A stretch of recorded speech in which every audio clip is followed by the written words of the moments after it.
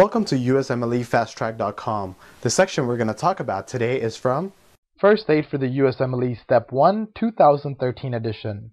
Page 567, Rapid Review. What is Lesch-Nyhan syndrome?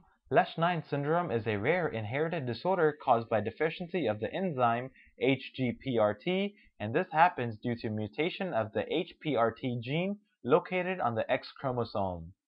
What are the clinical presentations observed in Lesch-Nyhan syndrome?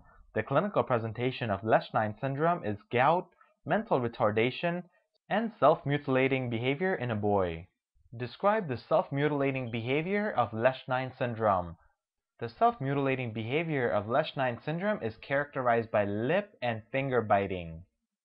For more information on this topic, click on the link in the description section below. For a full USMLE Step 1 review, be sure to check us out at usmlefasttrack.com where we help you review the entire first aid for the USMLE Step 1 with high quality videos and hundreds of detailed pictures for a better understanding of the material.